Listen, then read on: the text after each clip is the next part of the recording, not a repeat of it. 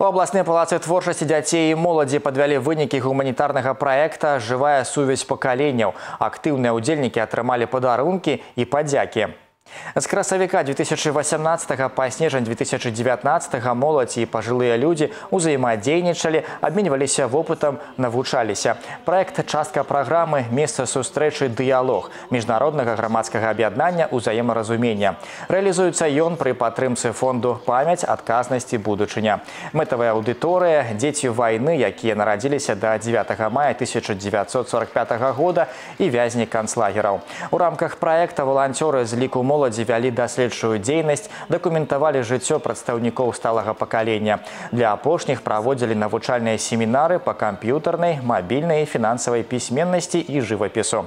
За час рэалізацыі праекта атрымалася дасягнуць галоўнага наладзіць цесную і ўзаемавыгадную сувязь прадстаўнікоў двух пакаленняў. Связь поколений – это не просто слова, это реальные действия, которые должны воплощаться в поступках молодежи и которые должны находить отклик у э, пожилого человека. Пожилой человек – это носитель мудрости, это носитель жизненного опыта и определенных жизненных установок и ценностей. Молодой человек – это носитель современных э, каких-то веяний, э, знаний, и, конечно же, он может им передать. И вот эта связь поколений, она может быть более прочной в современном мире благодаря такому э, реальному, практическому взаимодействию разных поколений. Усе напрацоўкі, атрыманыя падчас праекта, лягли ў аснову метадычнага дапаможніка «Жывая сувязь» сувязь пакаленняў. Сабраныя валанцёрамі матэрыялы і ўспаміны плануюць перадаць у музей і ВНУ для працягу даследаванняў.